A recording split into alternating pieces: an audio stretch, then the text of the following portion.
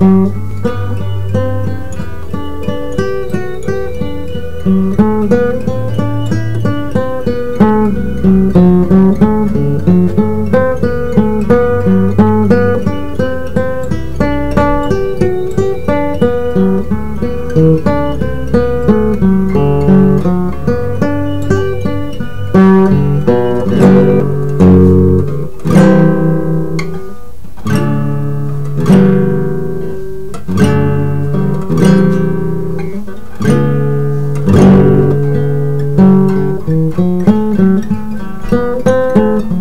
Mm-hmm.